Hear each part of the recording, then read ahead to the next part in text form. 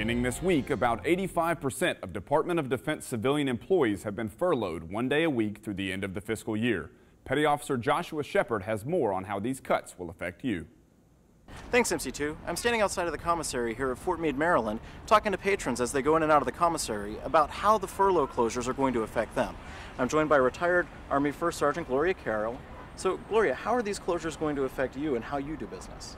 Well, I live quite a ways from Fort uh, Meade in Randallstown, Maryland, which is about 20 miles. So for me to have to uh, rearrange my schedule and not have that flexibility to come when I need to come, uh, it's not going to be good. And I think that it would do a disservice to all the retired Navy, Army, Air Force, and Marine Corps, since this is a tri-state area, for them to have to readjust their time to come down here, and that this would really put a hardship on those soldiers uh, and airmen and Marines to have to, uh, you know, lose one day. Every day that we can get to come here is a better day.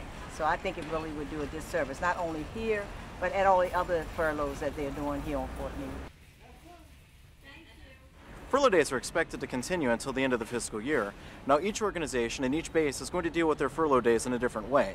It's important that you check your installation's guidance on how these furlough days are going to affect you. Back to you, MC2.